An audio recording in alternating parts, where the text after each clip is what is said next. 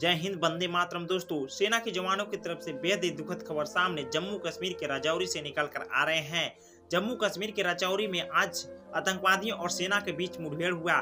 इस मुठभेड़ में बताया जा रहा है कि सेना का दो जवान शहीद हुए हैं और वही चार जवान गंभीर रूप से जख्मी हुए हैं। एक बार फिर से घाटी में आतंकवादियों और सेना के बीच मुठभेड़ हुआ है।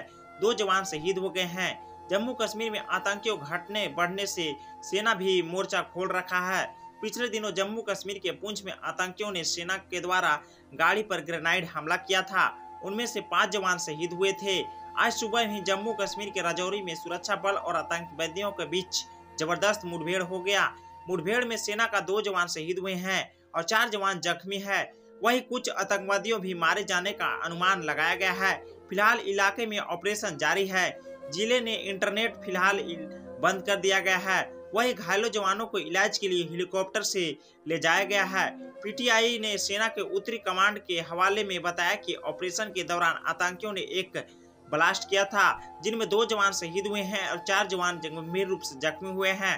घायलों जवानों में एक बताया जा रहा है कि अधिकारी हैं और तीन सेना का जजबाज है और दो जवान गंभीर रूप से शहीद हो गए हैं। बताया जा रहा है कि यह घटना जम्मू कश्मीर के राजौरी में करीब आज सुबह साढ़े सात बजे की यह घटना हुआ है। साढ़े सात बजे आतंकियों और सेना के बीच मुठभेड़ हुआ था। उस मुठभेड़ में बताया जा रहा है कि सेना के जवान पर आतंकवादियों ने आईडी ब्लास्ट किया। उस दौरान सेना का दो जजवान शहीद हो गए हैं और वही चार जवान गंभीर रूप से घायल है।